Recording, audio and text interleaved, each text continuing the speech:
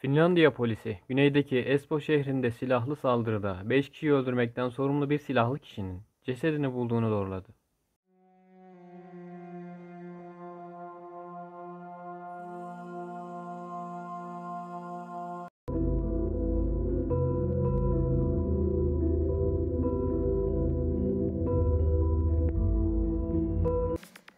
Müfettişler 43 yaşındaki İbrahim Sukopoli'nin Sello alışveriş merkezinin içindeki bir bakkal dükkanında 9 milimetrelik tabancayla 3 erkek ve bir kadını vurarak öldürdüğünü söyledi. Şukupolli'nin aynı zamanda dükkanda çalışan eski kız arkadaşının cesedi daha sonra şehirdeki bir apartman dairesinde bulundu. Olay Finlandiya'da son 2 yılda meydana gelen 3. büyük silahlı saldırı oldu. Polise ilk olarak Perşembe günü yerel saatle 10.08'de Prizma marketinin içinde vurulduğu bildirildi. Finlandiya Devlet Yayın Kuruluşu'na konuşan bir görgü tanı, saldırganın siyahlar giydiğini ve rastgele ateş açarak bir adamın kafasına ve bir kadının karnına vurduğunu söyledi. Kurbanlar 27, 40, 42 ve 45 yaşlarındaki prizma çalışanlarıydı. Polis iki kişinin dükkanın birinci katında, diğer ikisinin ise ikinci katında vurulduğunu söyledi. Başka bir tanık, ilk silah sesleri duyulduktan sonra kaos çıktığını söyledi. Finlandiya radyosuna konuşan bir görgü tanığı, ağlayan çok sayıda insan ve tamamen paniğe kapılan birçok satış görevlisi vardı dedi. Saldırgan daha sonra başka bir dükkana doğru yürürken görülmüştü. Daha sonra ortadan kayboldu ve büyük bir insan avına yol açtı.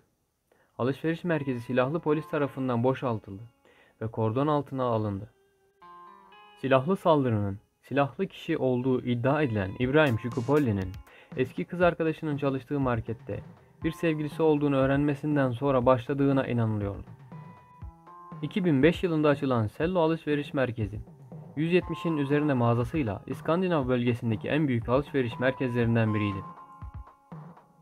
Silahlı saldırının gerçekleştiği günde alışveriş merkezinde 2 ila 3 bin arasında müşteri vardı. Tanıklar silahlı kişinin olaydan sonra alışveriş merkezindeki marketten çıkarken sakin olduğunu anlatıyordu. İbrahim Şukopolli Yugoslavya'da dünyaya gelmişti.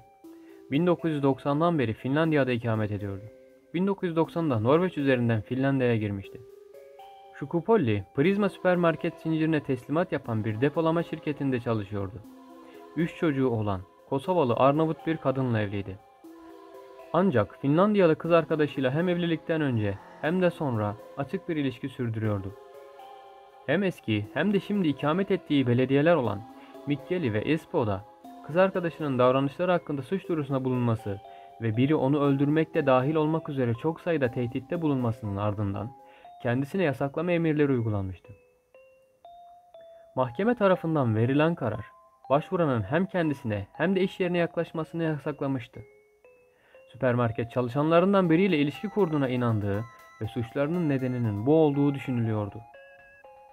2001 yılında saldırıdan ve 2003'te 7.65'lik tabanca ve ilgili mermilere, 2007'de 9.18 milimetrelik fişeklere sahip olmanın yanı sıra narkotik ürün bulundurmaktan mahkum edilmişti. Ayrıca Balkanlardan Finlandiya'ya yasa dışı göçü organize eden bir insan kaçakçılığı çetesine karışmaktan da soruşturma altındaydı. Bunlar ve yasa dışı tehditler, trafik ihlalleri dahil olmak üzere diğer suçlar, Finlandiya Göçmenlik Dairesi'nin başvuranın Finlandiya vatandaşlığı başvurusu reddetmesine yol açmıştı. Şukupolli cinayeti işledikten sonra ortadan kaybolmuştu. Daha sonraki bir basın toplantısında polis, bir prizma çalışanının da şehrin varışlarındaki dairesinde ölü bulunduğunu duyurdu. Daha sonra kurbanın Şukupolli'nin eski kız arkadaşı olduğu ortaya çıktı. Müfettişler onun öldürülmesinin aile içi bir olay olduğuna inandıklarını ve bir yasaklama emrinin yürürlükte olduğunu söylediler. Müfettiş düzenlediği basın toplantısında alışveriş merkezindeki dört kurban bir bakıma yabancıydı. Görünüşe göre olay beşinci kurbanla bağlantılıydı. Silahlı kişinin ana hedefi o gibi görünüyor ve tüm atış onunla silahlı adam arasındaki ilişkiye bağlıydı. Polis Şukupolli'nin daha sonra kendi evine dönerek silahı kendisine doğrulttuğunu söyledi.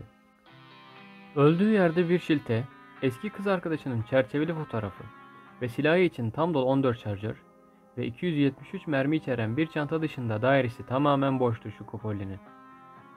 Silah sesini duyan bir komşuya göre şu Kupoli saat 11.13'te kendini vurmuştu. Kullanılan silah 1984 yılında üretilmişti. Çekoslovak yapımı 9 mm'lik bir tabancaydı. İlk olarak 1990 yılında çözülmemiş bir hırsızlık vakası nedeniyle silahın kaybolduğu, Norveç'te satıldığı ortaya çıkmıştı. Dairesinde bulunan kadın kurban bir av bıçağıyla öldürülmüştü. Kadının vücudunda servikal omurgaya ulaşan uzun ve derin bir yara izi vardı ve dairede hiçbir mücadele izi bile yoktu. Daha önce bu kadar şiddetli olayların yaşanmadığı Finlandiya'da kadın kurbanın ismi açıklanmamıştı. Geniş ormanlık alanlara ve vahşi doğaya sahip olan Finlandiya'da uzun bir avcılık geleneği vardır. Ancak yakın zamana kadar silahlı suçlar nadirdi.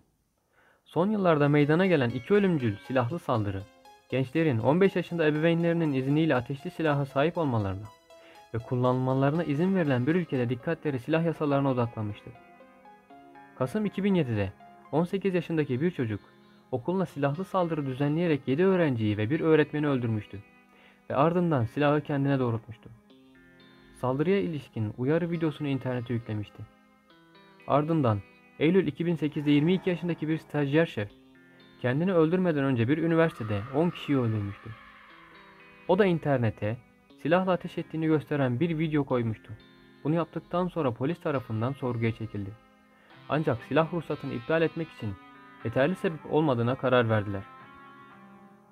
Bu ikinci saldırıdan sonra tabanca ve revolver izinleri konusunda daha katı kurallar getirildi. İçişleri Bakanlığı ilk kez başvuranlara artık tabanca ruhsatı verilmeyeceğini söyledi. Bunun yerine izin başvurusunda bulunmalarına izin verilmeden önce bir silah kulübünde en az bir yıl eğitim almaları gerekiyor. Bu tarz videoların devamı için kanala abone olmayı ve beğeni atmayı unutmayın.